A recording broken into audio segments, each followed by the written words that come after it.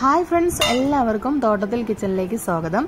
അപ്പോൾ ഇന്ന് ഞാൻ വന്നിട്ട് നല്ലൊരു അടിപൊളി റെസിപ്പിയുമായിട്ടാണ് കേട്ടോ. അപ്പോൾ നമ്മൾ കടയിൽ നിന്നൊക്കെ വാങ്ങിക്കുന്ന പീനട്ട് ബട്ടർ ഉണ്ടല്ലോ അതിന്റെ ഒരു റെസിപ്പിയാണ്. നമുക്ക് വീട്ടിൽ തന്നെ തയ്യാറാക്കാൻ പറ്റും. ഇനി കടയിൽ നിന്നും നമുക്ക് വാങ്ങിക്കേണ്ട ആവശ്യമില്ല. അപ്പോൾ നമ്മൾ വെറും പതിനഞ്ച് രൂപയുണ്ടെങ്കിൽ നമുക്ക് അടിപൊളിയായിട്ട് പീനട്ട് ബട്ടർ തയ്യാറാക്കാൻ പറ്റും കേട്ടോ. അപ്പോൾ നമുക്കിത് എങ്ങനെയാണ് തയ്യാറാക്കുന്നത് നോക്കാം. അപ്പോൾ അത് അതിനായിട്ട് ഞാനൊരു ഫ്രൈ പാനിലേക്ക് ഒരു നൂറ്റമ്പത് ഗ്രാം പച്ച കടലയാണ് ഞാൻ ഇട്ട് കൊടുത്തിരിക്കുന്നത് കേട്ടോ. ഒരു പച്ച നിലക്കടലയാണ് ഞാൻ എടുത്തിട്ടുള്ളത്. അപ്പോൾ നിങ്ങൾക്ക് വറുത്തത് വേണമെങ്കിലും എടുക്കാവുന്നതാണ്. ഞാനിവിടെ പച്ചയാണ് കേട്ടോ. അപ്പോൾ ഞാനൊരു മീഡിയം ഫ്ലെയിമിൽ ഇട്ടിട്ട് നന്നായിട്ടൊന്ന് റോസ്റ്റ് ചെയ്ത് എടുക്കുന്നുണ്ട്. അപ്പോൾ ഒരു ഒരുപാട് ഹൈ ഫ്ലെയിമിൽ വെക്കരുത് കേട്ടോ. പെട്ടെന്ന് കരിഞ്ഞു പോകും. അപ്പോൾ അതുകൊണ്ട് നമുക്ക് മീഡിയം ഫ്ലെയിമിൽ ഇട്ടിട്ട് വേണം ഇതൊന്ന് ഫ്രൈ ചെയ്തെടുക്കാനായിട്ട്.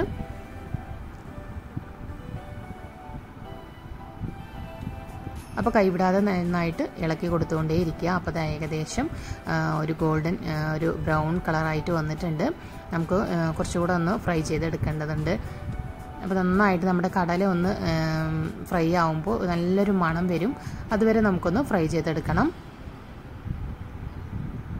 അപ്പോൾ അത് ഏകദേശം നമ്മുടെ കടല റെഡി ആയിട്ടുണ്ട് കേട്ടോ. നല്ലൊരു മണം വരുന്നുണ്ട്. കടല വറുക്കുമ്പോഴുള്ള ആ ഒരു മണം ഉണ്ടല്ലോ അത് എല്ലാവർക്കും ഇഷ്ടമാണ് അല്ലേ? എനിക്ക് ഭയങ്കര ഇഷ്ടമാണ് കേട്ടോ ഈ കടല വറുക്കുന്ന മണം. നല്ല മണമായിരിക്കും. അപ്പോൾ അത് ഏകദേശം ആയിട്ടുണ്ട്. ഞാൻ ഫ്ലെയിം ഓഫ് ചെയ്ത് കൊടുത്തിട്ടുണ്ട് കേട്ടോ. ഇനി ഇതൊന്ന് തണുക്കാനായിട്ട് വെക്കാം. അപ്പോൾ അത് നല്ലതുപോലെ തണുത്തിട്ടുണ്ട്. ഇനി നമുക്ക് ഇതിന്റെ തൊലി ഒന്ന് കളഞ്ഞെടുക്കണം. അപ്പോൾ അതിനായിട്ട് ഞാനൊരു കോട്ടൺ തുണി എടുത്തിട്ടുണ്ട് കേട്ടോ. അത് നന്നായിട്ടൊന്ന് വിരിച്ച് കൊടുത്തതിന് ശേഷം അതിലേക്ക് നമുക്ക് ഈ കടല ഇട്ട് കൊടുക്കാം.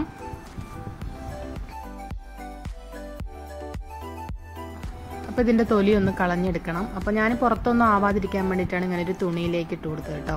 എന്നതിന് ശേഷം അതുപോലെ ഒന്ന് നമുക്കൊന്ന് കൂട്ടി ഇത് ഇങ്ങനെ ഒന്ന് പിടിച്ചതിന് ശേഷം നമുക്ക് കൈകൊണ്ട് തന്നെ ഇങ്ങനെ ഒന്ന് തിരുമ്മി കൊടുത്തു കഴിഞ്ഞാൽ ഇതിന്റെ തൊലിയൊക്കെ ഒന്ന് ഇളകി വരും. കണ്ടില്ലേ? ഇതുപോലെ നന്നായിട്ടൊന്ന് ആക്കി കൊടുത്താൽ മതി. അല്ലെങ്കിൽ മുറവുണ്ടെങ്കിൽ നമുക്ക് വീട്ടിൽ മുറവ് ഉണ്ടാവുമല്ലോ. മുറന്ന് പറഞ്ഞാൽ നിങ്ങൾക്ക് അറിയുമെന്ന് എനിക്കറിയില്ല. മുറത്തിലിട്ടിട്ട് ഇതുപോലെ ഒന്ന് ആക്കിയെടുത്താൽ മതിയാവും. അപ്പോൾ അത് അതിന്റെ തൊലിയൊക്കെ ഒന്ന് പോയിട്ടുണ്ട് കേട്ടോ. അപ്പോൾ ഇത് നമുക്ക് ഇനിയിപ്പോൾ ഇതിന്റെ തൊലിയൊക്കെ ഒന്ന് കളയാൻ വേണ്ടിയിട്ട് ഞാനെന്താ അതുപോലെ ഒരു കയ്യിലെടുക്കുന്നുണ്ട്. അതിലേക്ക് ഇട്ട് കൊടുക്കുക കേട്ടോ. എന്നിട്ടായിട്ട് നമുക്ക് ഇതുപോലെ ഒന്ന് ആക്കിയെടുത്തു കഴിഞ്ഞാൽ ഇതിന്റെ തൊലിയൊക്കെ അടിയിൽ വീഴും. കടലായിട്ട് കടല മാത്രമായിട്ട് നമുക്ക് കിട്ടും കേട്ടോ. ആണല്ലേ? ഇതുപോലെ നമുക്ക് ചെയ്തെടുക്കാവുന്നതാണ്. അല്ലെങ്കിൽ മുറത്തിലും നമുക്ക് ഇതുപോലെ ഒന്ന് ഇതുപോലെ ചേറിയെടുക്കുകയാണെങ്കിൽ ഇതാണ്ടോ ഇതുപോലെ ചെറിയ പെട്ടെന്ന് തന്നെ നമുക്ക് തൊലിയൊക്കെ കളഞ്ഞെടുക്കാൻ പറ്റും. അങ്ങനെ ഇതാ തൊലികളൊക്കെ കളഞ്ഞെടുത്തിട്ടുണ്ട്. ഇനി നമുക്കിതാ നമ്മുടെ മിക്സിയുടെ ചെറിയ ജാറാണ് ഞാൻ എടുത്തിട്ടുള്ളത് കേട്ടോ. എപ്പോഴും ചെറിയ ജാർ എടുക്കാൻ വേണ്ടി നോക്കുക. അതിലേക്കാണ് ഞാൻ ഇട്ട് കൊടുത്തിട്ടുള്ളത്. എന്നിട്ട് അടച്ചതിന് ശേഷം നമുക്ക് ബാക്കിലോട്ടാണ് ഫസ്റ്റ് ഒന്ന് തിരിച്ചു കൊടുക്കേണ്ടത് കേട്ടോ. ഇതുപോലെ ഒന്ന് ക്രഷ് ചെയ്ത് ആദ്യം എടുക്കണം. രണ്ട് മൂന്ന് വട്ടം ഇതുപോലെ ആക്കി എടുക്കാം. എന്നതിന് ശേഷം നമുക്ക് നന്നായിട്ട് മിക്സിയിൽ ഒന്ന് പൊടിച്ചെടുക്കാം കേട്ടോ. അപ്പോൾ നമ്മൾ നിർത്തി നിർത്തിയിട്ട് വേണം പൊടിച്ചെടുക്കാനായിട്ട്. അപ്പോൾ നന്നായിട്ട് പൊടിച്ചെടുത്തിട്ടുണ്ട്. അപ്പോൾ ഇത് പോരാ. നമുക്ക് നന്നായിട്ട് ഒരു ബട്ടറിന്റെ ഒരു കൺസിസ്റ്റൻസിയിലാണ് നമുക്കിത് വേണ്ടത്.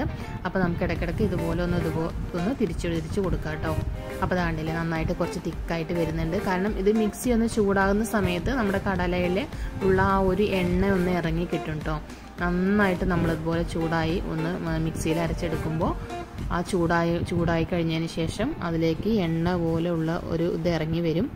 അപ്പോൾ ഇത് ആവശ്യത്തിന് ഉപ്പ് ഇട്ട് കൊടുത്തിട്ടുണ്ട് കേട്ടോ ഞാൻ. ഒരു കാൽ ടീസ്പൂൺ ഉപ്പ് മതിയാവും.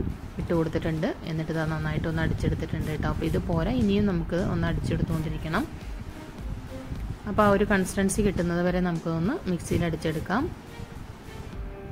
ഇനി അതിലേക്ക് ഞാനൊരു അര ടീസ്പൂൺ ബട്ടർ കൂടെ ഇട്ട് കൊടുക്കുന്നുണ്ട്. ബട്ടർ ഇട്ട് കൊടുക്കണമെന്ന് നിർബന്ധമൊന്നുമില്ല. ഞാനിവിടെ ഇട്ട് കൊടുത്തിട്ടുണ്ട്. നിങ്ങൾക്ക് വേണമെങ്കിൽ വെളിച്ചെണ്ണ വേണമെങ്കിലും ഒരു ടേബിൾ സ്പൂൺ ഒഴിച്ചു കൊടുക്കാം കേട്ടോ. അപ്പോൾ ഇതാ ഏകദേശമായി കിട്ടിയിട്ടുണ്ട്. ഇനി ഇതിലേക്ക് അര കാൽ ടീസ്പൂൺ പഞ്ചസാര കൂടെ ഇട്ട് കൊടുക്കുന്നുണ്ട് കേട്ടോ. ഒരു ചെറിയൊരു മധുരത്തിന് വേണ്ടിയിട്ടാണ്. നമ്മുടെ പീനട്ട് ബട്ടറിൽ അത്ര മധുരം ഉണ്ടാവില്ല. ഒരു ഉപ്പിന്റെ ആ ഒരു ഇതായിരിക്കും ഉണ്ടാവുക. ഇതിലേക്ക് ഒരു അല്പം മതിയാവും. ഒരു കാൽ ടീസ്പൂൺ മാത്രമേ ഞാൻ ഇട്ട് കൊടുത്തിട്ടുള്ളൂ. എന്നിട്ട് നന്നായിട്ട് ബ്ലെൻഡ് ചെയ്തെടുക്കാം. അപ്പോൾ ഇതാണ്ടല്ലേ. അങ്ങനെ നമ്മുടെ പീനട്ട് ബട്ടർ ഇവിടെ റെഡി ആയിട്ടുണ്ട് കേട്ടോ.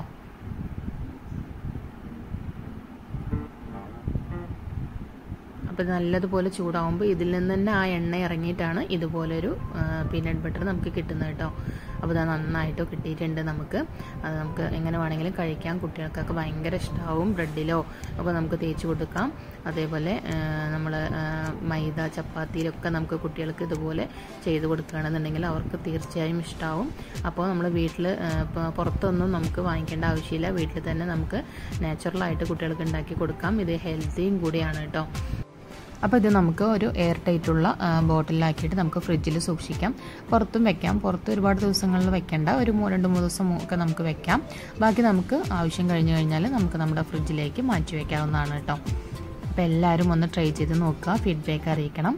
അപ്പോൾ വീഡിയോ ഇഷ്ടമായി ലൈക്ക് ചെയ്യാനും ഷെയർ ചെയ്യാനും സബ്സ്ക്രൈബ് ചെയ്യാനൊന്നും മറക്കരുത് കേട്ടോ. പുതിയൊരു വീഡിയോ ആയിട്ട് വരുന്നവരെ എല്ലാവർക്കും അസ്സലാമലൈക്കും